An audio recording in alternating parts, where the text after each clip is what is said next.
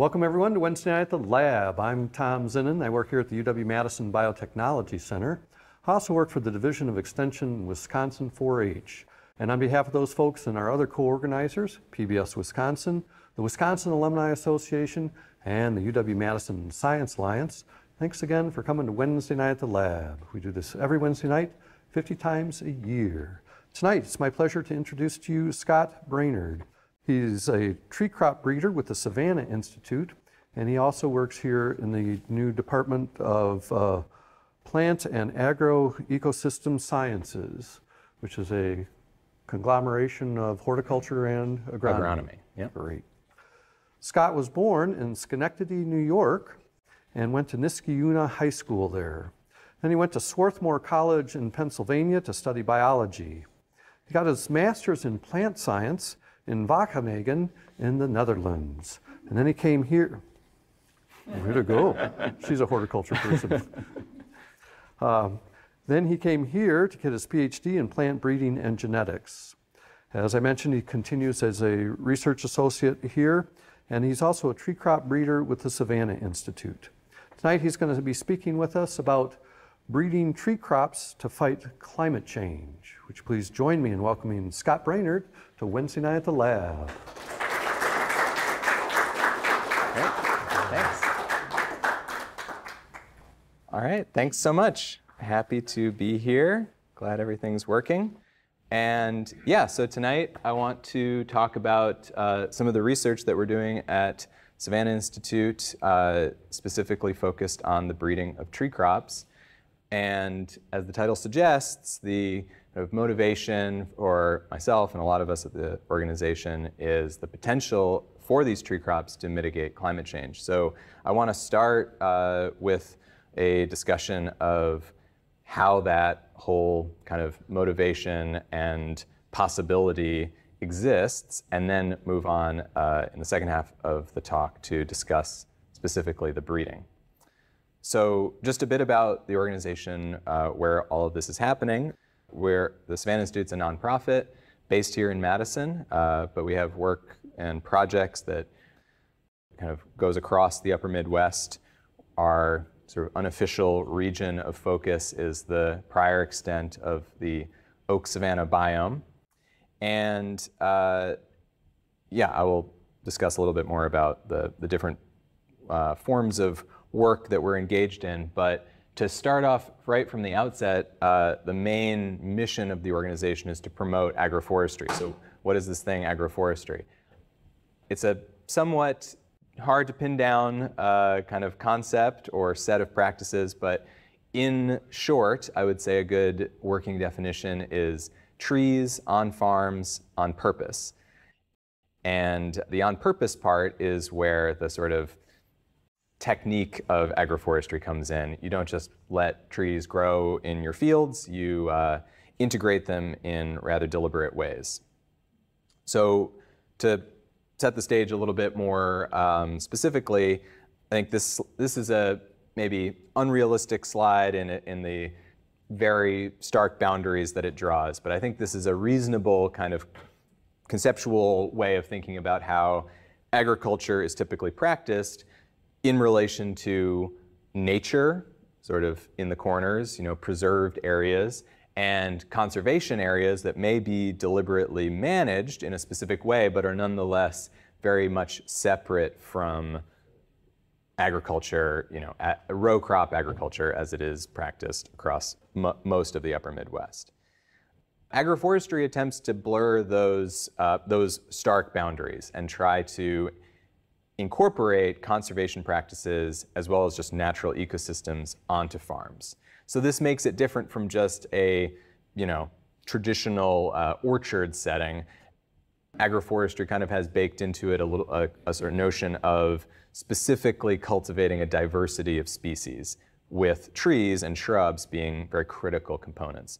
So here's some cartoons and I will pair them with photos of some examples of what might constitute agroforestry systems.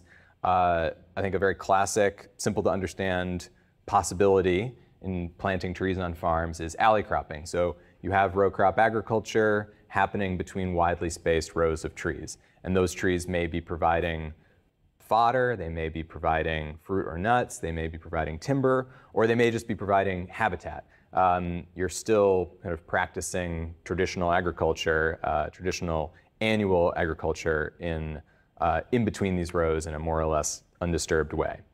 And uh, here's an example of this just getting started down in Urbana, Illinois. One of the nice things about this particular system is these trees take a long time to establish and grow, and while that's happening, you still are cash flowing your operation by growing uh, a row crop.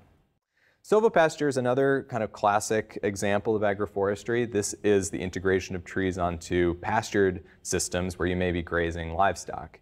And I think this, uh, this particular practice has a ton of potential because the planting of trees on these pastures, the right kind of trees, can allow a very high quality pasture to grow, but also provide additional uh, fodder for livestock, whether that's leaves, whether that's fruit or nuts, or just whether that's shade, which is increasingly becoming a very uh, sought after uh, commodity by livestock suffering in the heat. So this is just a real win-win when it's practiced uh, well. And here's an example of cattle grazing in a silvopasture system here in Wisconsin.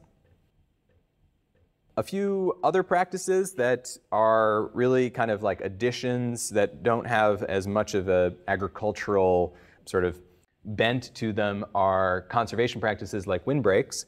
Windbreaks can be really essential in breaking wind and thereby reducing uh, you know, windborne soil erosion. But they can also have very valuable roles in providing habitat for uh, different types of animals on farms and can definitely improve crop health as well, you know, depending on the field where they're planted. So here's some hybrid poplar planted in uh, Illinois.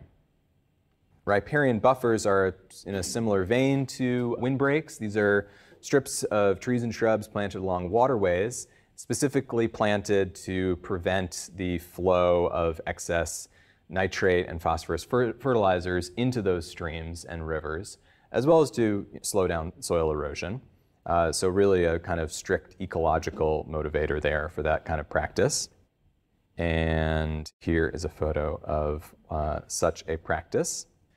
And yeah, so hopefully that gives you just a little bit of a flavor of what agroforestry might look like. It's not one set of practices. It's not, you know, a entirely uh, well-defined uh, principle, but it can take a lot of different forms, and the ultimate result is trees on farms on purpose. So now to return to Savanna Institute a little bit, um, our work, and here is, is a very rough schematic, not of the Oak Savannah biome, but really where we have either projects of our own or partners that we're working with on projects. We work in several different areas. I will be talking a lot about the research side of the organization, but I just want to mention that promoting these kinds of systems is not simply accomplished by studying them or commercializing them. There's a lot of uh, education, outreach, sort of extension type activities that really needs to go hand in hand in terms of giving farmers the knowledge and the tools to implement these practices. And then since a lot of this has not been practiced on a wide scale before, we also try to, as much as possible, actually develop farm scale demonstration and pilot farms uh, to, where folks can come, see these practices actually in the real world. And I will talk about some of the land where we're doing that in Spring Green. So now to move from, okay, so we're getting trees on farms, we're getting shrubs being planted. How is that related to climate change?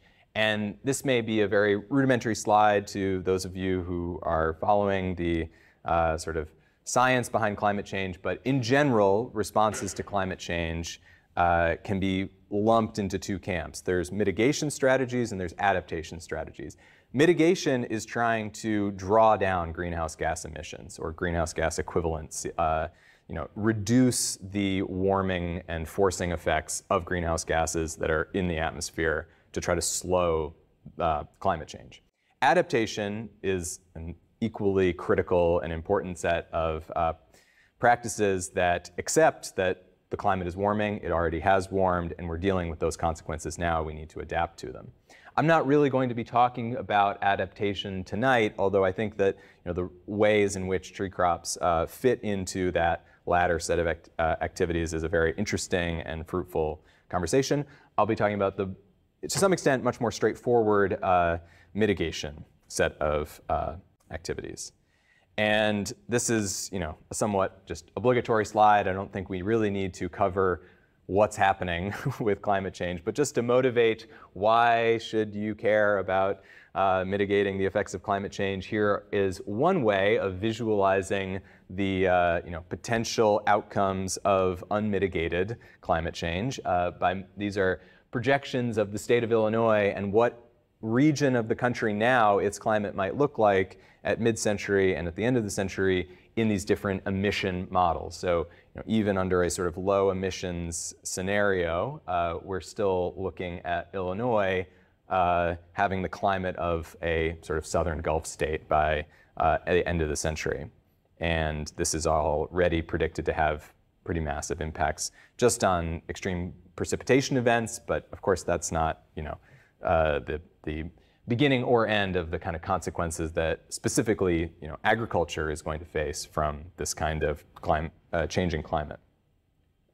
So to return to agroforestry, it's very difficult to put these kinds of you know, meta-analysis slides together, and this is a somewhat busy figure. What this is showing is that if you do try to stack all the different kinds of sort of mitigation practices that could have uh, the capacity to draw down levels of greenhouse gas in the atmosphere. Agroforestry is very uh, repeatedly found to have a massive potential to sequester carbon relative to other agricultural practices. And to dig into that a little bit deeper, the reason for that potential, the reason that in general changing the way we uh, practice agriculture can have such a positive impact on the rates of greenhouse gas emissions is that today agriculture is a very significant uh, source of greenhouse gas emissions in the US. So this is total greenhouse gas emissions shown on the left here uh, for, for the US and in 2020. And this is that 11.2% sort of piece of the pie broken out in the smaller pie chart on the right so 11.2% of US emissions are coming from the agriculture sector. The reasons for that are a combination, it might not be what you think. Uh, there are some direct CO2 emissions. This would be from just you know, driving tractors, burning fossil fuels. But uh, a lot of what's emitted on farms is direct CH4 methane emissions from livestock and direct N2O or nitrous oxide emissions, and that's coming from excessive rates of fertilization. Uh, the way in which N2O is released in the atmosphere is a little bit complicated, but farmers spread nitrogen on their fields uh, as a fertilizer, very essential to pretty much all crop production. And when that fertilizer is not directly taken up by plants, it sits in the soil. If it doesn't run off into a stream, bacteria will break it down through processes referred to as denitrification, and the byproduct of these um, of these denitrification reactions is the release of nitrous gases into the atmosphere. And that's actually, nitrous oxide is a far more potent greenhouse gas relative to CO2 and has a, uh, an outsized impact on the warming of the climate.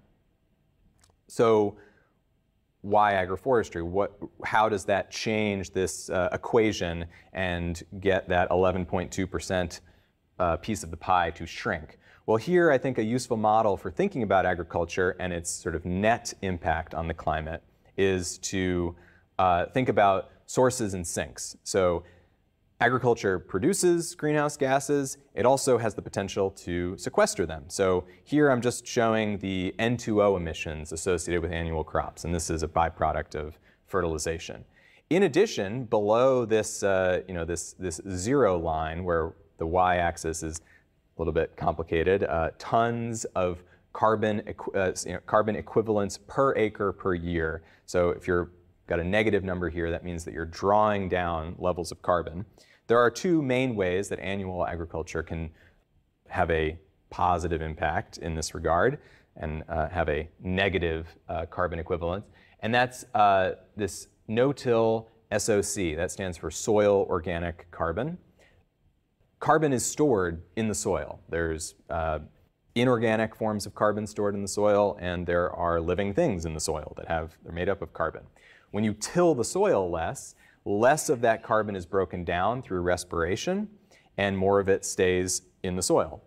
Uh, cover crops can also have a positive impact on the size of this, what is called the soil organic carbon pool, um, by increasing the amount of organic matter stored in the soil. What this uh, sort of bar chart tries to represent is those are, pretty, you know, this is again integrating results from uh, a number of different recent studies, but in general, the finding is that in annual agriculture, you can tinker around the edges and you can uh, implement what are sometimes called precision agricultural practices, no-till, uh, you know, direct drilling of, of, of, corn, for example, planting more cover crops. You can improve uh, annual agriculture. But you cannot make it a net uh, sink for carbon. It is always going to emit more than you are able to capture. And that is the kind of fundamental shift that we're able to, according to these, uh, you know, the, the current research, is that agroforestry has the potential to flip that relationship you not only can uh, reduce the amount of N2O emissions, you are able to make more efficient use of nitrogen fertilizer in agroforestry systems. That's largely a function of the greater diversity of root systems. And you're also to, able to massively increase the soil organic carbon pool.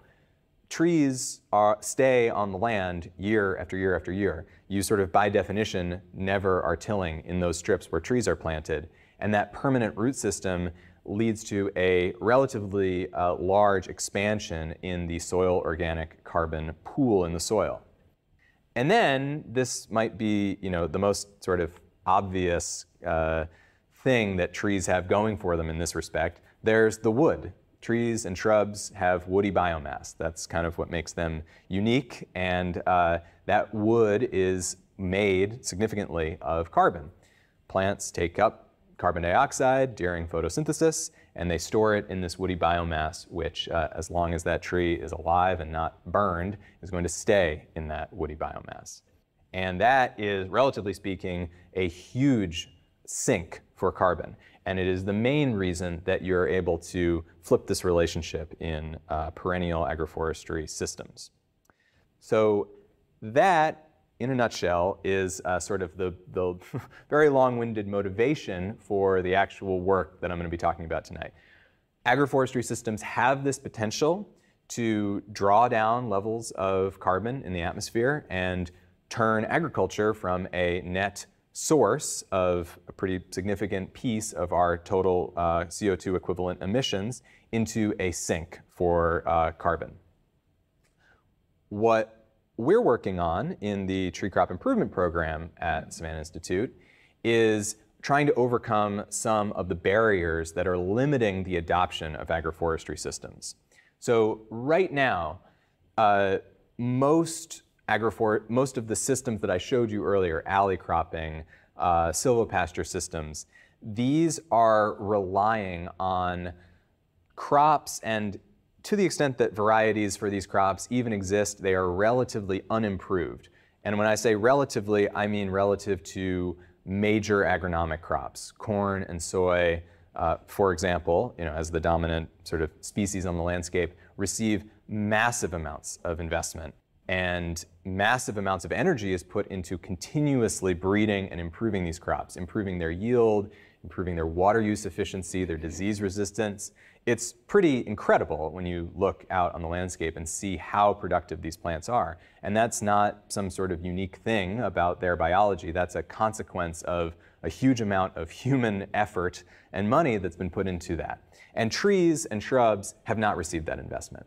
And so that's, that is the need, and that phenomenon, that lack of investment, um, has really slowed the rates of adoption because it has not uh, allowed for farmers to have access to really great sort of versions of these crops that I will, I promise you, uh, talk about in a moment. Um, what's the reason for this? What's the barrier to breeding these crops? Well, relative to these annual crops, there are very large acreage requirements associated with uh, breeding them. They're huge. These trees are quite large and they have extremely long generation times. And not just long generation times to making crosses uh, with these crops, but they have even longer times to maturity, to seeing the performance of these crops, you know, seeing their yield. They may start flowering or fruiting in five years, let's say, but they may not reach a sort of physiological maturity for a decade. So the solution, or what we're trying to bring to the table that hasn't really been tried before, are a set of uh, high throughput, and by that I mean uh, very efficient phenotyping, and by that I mean measuring trait performance, and uh, genomic selection methods. I'll explain what I mean by that as well in a moment. That's really just using new ways of sequencing uh, the tree's genome to more efficiently screen very large breeding populations. And we're doing this in uh, Spring Green, just west of uh, Madison here. So before going any further, I just want to acknowledge some of the members of the team of people who are doing this with me. Like I said, uh, the organization does a lot more than just breed trees. And uh, there's a lot of additional folks who aren't pictured here, who don't fit on this slide, who are doing very important work relative to sort of extension and outreach and education. But here are uh, some of the technicians working for us. We have a great farm crew out there. We're managing hundreds of acres of land, and I certainly could not do that uh, without an uh, excellent crew of farmers. We have a research staff. Uh, here pictured are three folks who are not doing breeding work, but are really studying other pieces of the puzzle, specifically studying those specific, measuring carbon basically stored in these systems. That's a whole science in and of itself that is quite complicated. And the gloss that I gave earlier really uh, was probably insufficient if you ask our climate scientists. And, uh, and we have uh, breeders like myself who are um, doing the selection and the crossing that I will describe in the next few slides.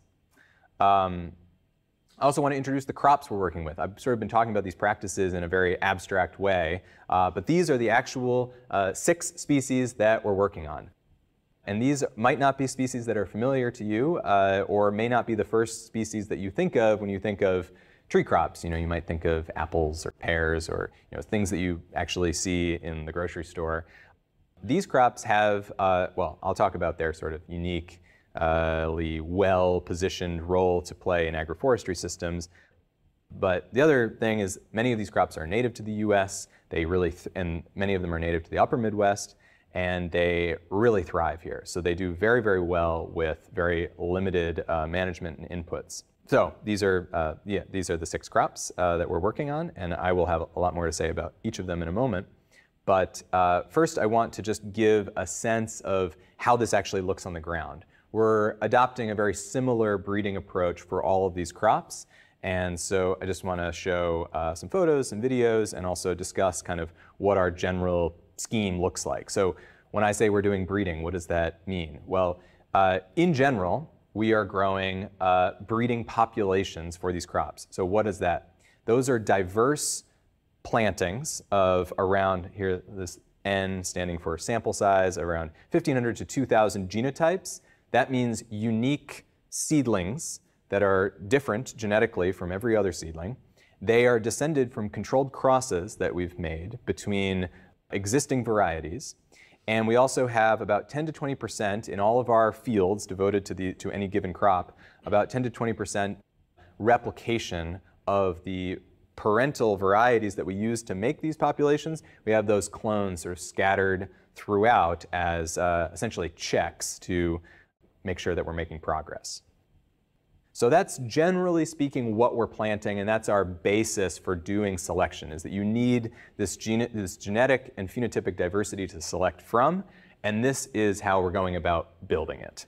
Taking existing varieties, crossing them together, and planting out thousands of uh, their progeny. So, but here's some drone footage of one of our fields from this year, and you can see it was a drought year. It's a very dry field, but this just gives you, you can't see any plants, but I hope this gives you a sense of the scale. This is one of those breeding populations. This is just across from the Spring Green, Spring, Spring Green Preserve, if any of you are familiar, um, literally across the street. and these are this whole field is planted to hazelnuts, Ameri- uh, primarily American hazelnuts, and uh, some hybrids with European hazelnut.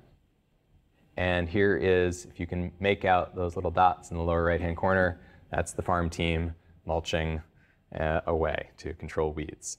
So that's uh, one of our, uh, our, one of our main research fields. I also have uh, some drone footage of another one of our fields from the gloriously non-droughty year from 2022 of uh, another field, just another farm just up the road. Here we're plant. Here is one of those pilot farms that I mentioned. These are actually all clonal hazelnuts. So these are not seedlings, and they're being grown more to uh, represent what a sort of realistic production system in the driftless region might look like.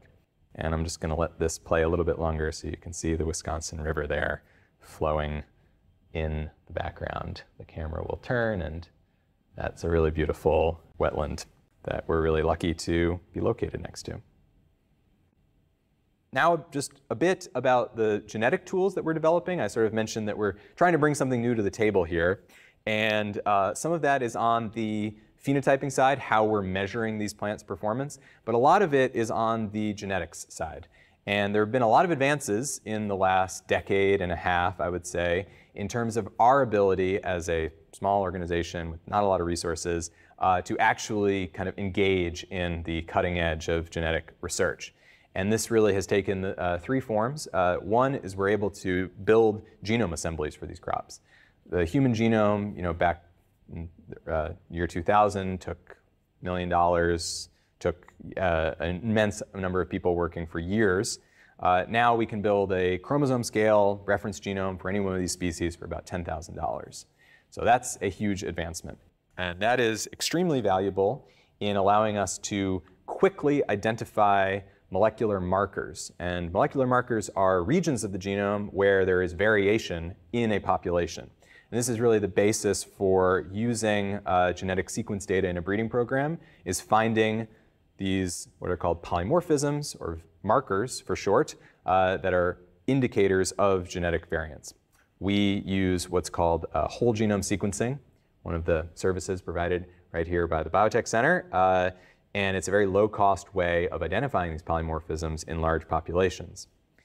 The final thing that we do is we use these sets of genetic markers to build what are called genomic prediction models. And this allows for us to predict the performance of plants when they are still just little seedling babies. So, in words, genomic prediction is what I just said. It's a, it's a way in which you take genetic markers and you use it to make a prediction about a plant, a plant that you don't know, you, it's just a seedling, you haven't seen it grow up yet, but you can use its genotype to make a prediction of what it will look like when it's an adult. How do you do this? So you genotype and phenotype, so measure the performance of a very large training population. And those basically are the breeding populations I was showing you videos of earlier. You grow out a whole bunch of plants and you genotype them and you measure their performance. And you build a linear model that relates the genotype to the phenotype. Then you can do two things with this model you can predict the phenotype of plants that you only have a genotype for, because you have this regression model. Uh, for example, seedlings. You want, maybe you have 10,000 seedlings in the greenhouse and you want to plant specifically the ones that are going to be the best. You only have a small field, let's say, or even, let's say you have a large field. You still have more seedlings than you can plant. You want to pick the best ones. That's one way of using this model. The other thing you can do is you can improve your ability to predict who's going to be a good parent for the next generation of crosses. And this is really kind of the bread and butter of breeding is making selection from breeding populations and identifying specifically not just the plants that you think would be, do well on farms that you want to sell to farmers, but the plants that you're going to cross together to make the next generation. And those are not always the best plants in and of themselves the capacity of a plant to give rise to good offspring is what's typically called the breeding value of that plant, nomenclature taken from animal breeding. And these genomic prediction models allow you to very precisely identify which plants have high breeding values. So I will briefly show you what this linear model actually looks like, but uh, I really kept this slide in here just because I already had it and uh, don't necessarily want to discuss this other than to say that this is a mixed linear model for any of those of you who may be familiar with mixed, mixed linear models. This is specifically, just for the record, what we're doing. And uh, the only thing I'll say is that the letter Y here represents the phenotypes that we're measuring, and the letter G rep represents the genotypic values that we're predicting. And everything else is, well, I'll also note that the, the big W is a big matrix of genetic markers. So uh, yeah, dwelling on this math for longer than I really wanted to, but uh, just to make the point that we are using markers to uh, fit a model that relates phenotypes to genotypes. And that's really the, uh, the fact that doing so has become cost effective is what allows us to do this. It all sounds great on paper, uh, and in fact, it has been known that this is a viable way to sort of do breeding more efficiently for decades. But it's only really in the last 10 years that the costs have come down to allow uh, real breeding programs to utilize these methods. And uh, yeah, a uh, final note about genomic prediction is that a very sort of key thing that you want to do is to validate that they work. You, if you're actually using this in a breeding program, you're not going to be able to check your work because you're just making the predictions and going with them. Uh, this is typically done with a cross-validation approach where you look at the correlation here I've snuck in a little abbreviation for genomic estimated breeding value. So you look at the correlation between the genomic estimate of a breeding value and the true values, and you do this many, many times uh, using a cross-validation data set, and you look at that average correlation coefficient. And uh, the risk of just showing you a bunch of numbers that you can't even read, I'll just show you a few of these correlation coefficients for actual data that we've collected from our actual hazelnut breeding population, which, if you haven't guessed, is the one that is far, far enough along that we were actually able to do this.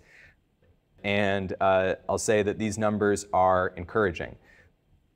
So typically in corn and soybean breeding programs where we take our inspiration because they are the ones who have been able to do this and afford to do this for longer, an R squared value, a correlation between prediction and, and reality of anything greater than 0.3 is something that people utilize. They actually say, okay, that's enough of a correlation there to use that in a breeding program. And uh, these rows are all different hazelnut quality characteristics. They're, maybe you can uh, guess what some of these mean, average weight of the kernel, the percent of the, of the nut that is kernel. These are all nut and kernel phenotypes. And for many of these, we have extremely high prediction accuracies. So we have a lot of hope that this method is going to work, but of course, we have to check our work as we go. Okay, so just to recap, the motivation for this method, I hope, is at this point uh, pretty clear we're able to make more efficient gains in our breeding program by utilizing this very cheap sequence data that's now available to us. This allows us to pick better parents for future crosses, and it allows us to more efficiently plant out seedlings on very limited acreage. So this is all sort of geared towards that major barrier that is traditionally slowed down tree crop breeding, which is the long generation times and the large acreage requirements. By making uh, more efficient selection, we're able to uh, in some ways, get around those uh, biological problems with breeding trees and shrubs. So now I want to shift gears a little bit and talk about these plants. And this is, in my uh, opinion, the uh, most exciting part of this whole work. And in the lower right-hand corner, uh, I'll just be showing the logos of some of our collaborators because with all of these crops, we do not do this by ourselves. We work with land grants, we work with other nonprofits, we work with uh, research organizations, the, and yeah, we could not do this by ourselves. So I will probably forget to mention some people, but I've tried to put their logos up on the screen. So hazelnut is a very interesting crop. Uh, American hazelnut is native to all of the eastern US and much of Canada. And we are growing hybrids. American hazelnut crossed with, Avalon, with avellana, which is European hazelnut. European hazelnut is what is is what you buy, uh, basically. It's the um, it is the hazelnut in the stores. It's primarily grown in Turkey. It's grown a little bit uh, in the US, uh, in the Willamette Valley of Oregon. And basically, it's sold to specialty markets. It's sold to the confectionery industry right now. Um, but it has a lot of possible uses when you start thinking about growing it on large acreage. And a few of these are listed here, such as uh, it's extremely high in oil content. And uh, it's also got, if you do press it for oil, it has, it has a side product, the meal or press cake, which has excellent nutritional value as a livestock feed. So uh, here on the, on the right, I'm just showing a picture of what this cross has generally generated for us. Uh, American hazelnut is a very multi, is a very spreading multi-stemmed shrub, and European hazelnut is typically grown as a tree. Uh, it will have multiple stems if you don't control them, but far less so than American hazelnut. It has, uh, European hazelnut has a much larger kernel, and American hazelnut has a smaller kernel which, with a thicker shell. So we're trying to combine these traits into one plant that is well adapted to the upper Midwest, resistant to some of the diseases that are endemic here that would kill any European hazelnut uh, from Turkey that you tried to grow, but has really great kernel quality. And uh, here is some of the uh, success that we've had thus far. So a few selections here on the, uh, you probably, well, these don't have very informative names, so it doesn't matter if you can't read them, but here are several of, in the, in the, in the columns, several of the promising selections that have resulted from really decades of this work that's been going on in the Midwest since the, uh, since the early 90s.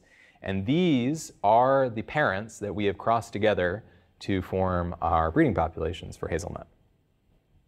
The breeding targets I sort of already mentioned this, the really critical pathogen that is endemic to the eastern U.S. is called eastern filbert blight. It is, uh, yeah, it is deadly on most, uh, most cultivated Corylus avellana, and it is uh, most Americana, most Native American hazelnut, is fully resistant, or at least fully tolerant of this, of this pathogen. Uh, we're breeding for high kernel yield density, and I use that word density because we're growing this crop as a hedgerow. So it's not a traditional closed canopy uh, orchard. We're growing it a hedgerow because that's how American hazelnut wants to grow, and that's how farmers want to integrate it in uh, specifically agroforestry systems. It's got extremely high oil content, but we want to specifically target oleic acids, um, which have a much higher nutritional uh, profile, and we want to make it machine harvestable. And you'll see that that's a theme for a lot of these crops that have not been uh, bred so extensively, it's actually quite challenging to mechanize their cultivation. Whether that's uh, you know, the pruning of these crops or in particular, often the harvesting of these crops, that is a really big limiting factor that is holding back their adoption. Uh, so we want a short, compact bush form we want the nuts to ripen uniformly, so we only have to make a few passes with a harvester. And we want to be able to have a minimum shearing force, which means it's really easy to shake these clusters off of the bush and uh, get them into the harvester. The next crop I'll talk about is American persimmon, second crop that we're working on. So American persimmon is in the Diospyros family, which is an incredibly diverse genus. It's an incredibly diverse genus with thousands of species uh, in, you know, on single islands of the South Pacific. It's really quite a wonder. And this is part of the ebony family. And so typically this uh, species of this genus are grown for their wood, but it also has at least 500 fruit-producing species. And the most common one that you've probably uh, seen in the supermarket is Diospyros kaki, uh, which is one of three Asian persimmon species that are widely cultivated for their fruits. American persimmon is the most nutrient dense uh, uh, native fruit in the US. Lots of, lots of superlatives to make this stand out, but really there's two native fruits in the US, uh, pawpaw and American persimmon, and uh, so it's not much of competition, but it is extremely nutrient dense. It is almost a complete protein. It's extraordinarily high in sugar, and because of that, it's been used by native peoples as well as uh, early Western uh, settlers as a not only human feed, but as a livestock feed. It was called the hog tree in the southern US. It has extraordinarily high yields that often stay on the tree very late into the season. And when they do drop, provide that sort of off season fodder that was really critical um, really up until the uh, development of corn based feeds. So, uh, another great thing about American persimmon is that it has a very diffuse canopy structure, which allows for excellent light infiltration.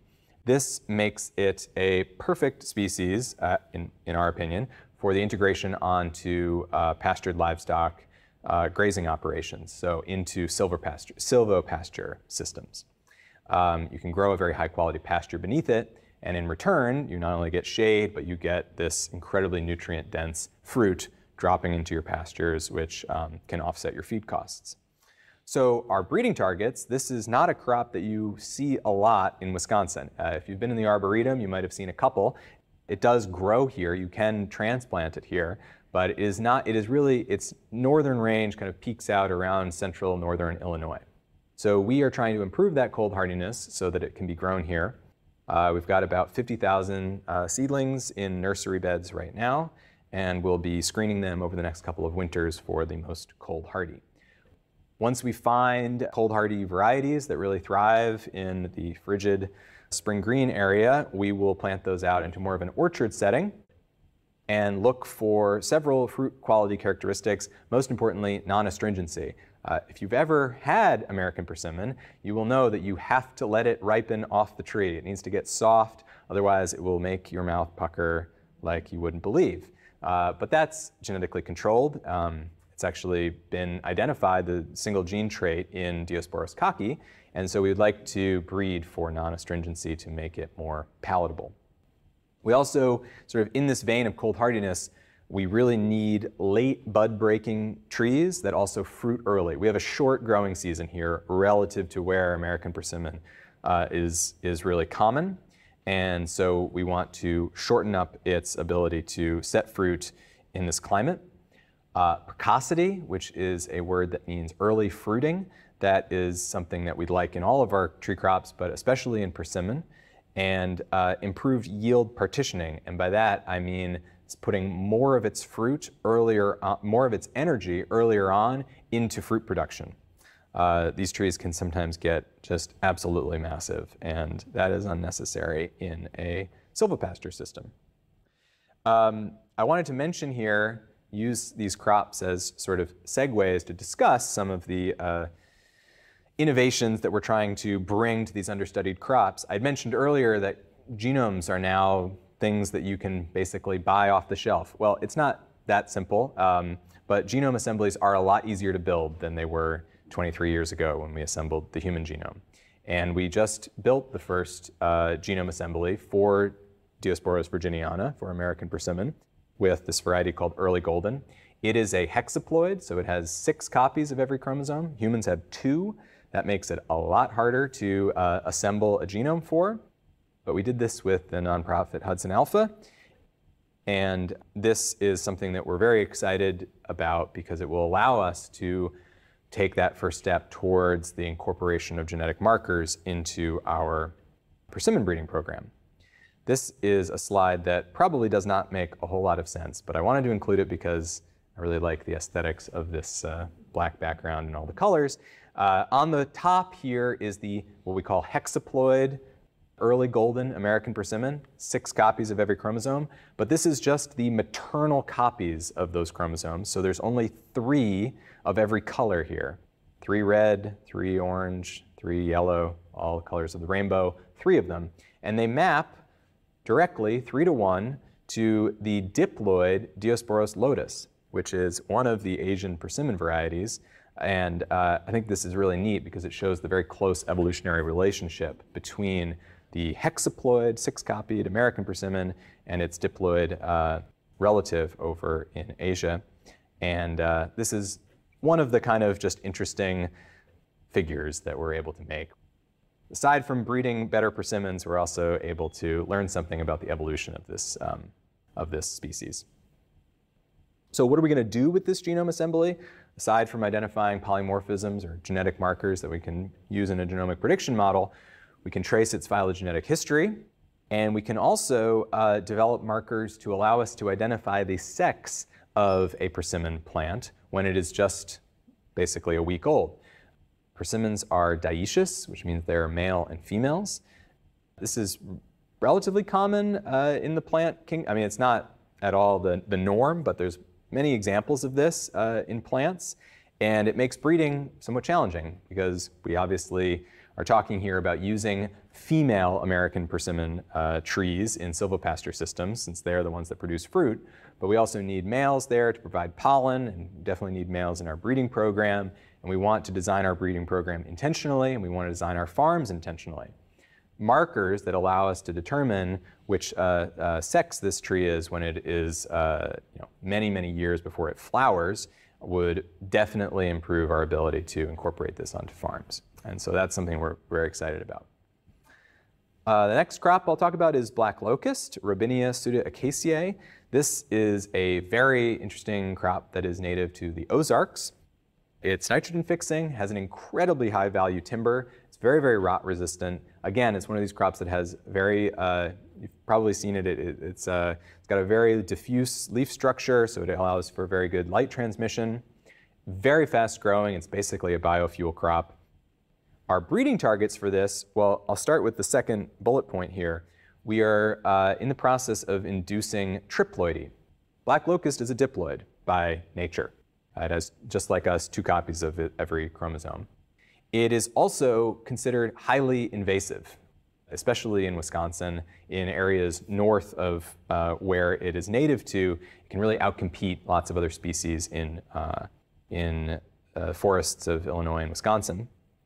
And so what we're doing is we are doubling its genome to create tetraploids and crossing those tetraploids back to the diploids to create triploids, three co copies of every chromosome. Triploids, an odd ploidy number comes sterility. They do not produce viable seed. And this is a pretty common practice in, um, or at least it's, uh, it's not common, but it's a practice that's been done in a lot of ornamental crops. And uh, we think it'll have a lot of benefit in terms of increasing the capacity of farmers to grow this in areas where they might be concerned about growing a very uh, aggressive uh, tree close to, say, you know, a, a, forest or other natural system. This triploidy has also been shown to increase the thickness of the bark, which will, we hope, uh, again, this is studies that are going back to the last time black locust was bred, which was almost 100 years ago, but thicker bark confers resistance to the black locust borer, which is a pretty important pest in this country. And also, in general, artificially inducing uh, polyploidy has been shown to increase vigor. Uh, so basically, faster time to maturity in terms of harvesting this as a timber crop. We also want to uh, investigate the potential of this crop at, as a leaf fodder for livestock. Uh, there's a lot of evidence uh, from other countries where black locust is grown quite widely that the, um, the leaves have a very high fodder value. Now I'll talk about the small fruit shrub crops that we're working on, the native American elderberry and black currant. We are working with two land grants on both of these crops, and uh, they're pretty similar in terms of how we're approaching them. They're very different crops, but I've grouped them together here because they are, again, bush type crops that are grown in hedgerow systems. And our goal is to be able to coppice these crops annually, so cut them down to the ground, they resprout, and they fruit on first year wood. That's something that they already do, and so that's what makes them so sort of attractive in agroforestry systems. It's very easy and very fast to get a harvest off of them. They are very cold hardy, they're extremely shade tolerant. They basically love the difficult places on your farm where you might not be able to grow a uh, more demanding tree.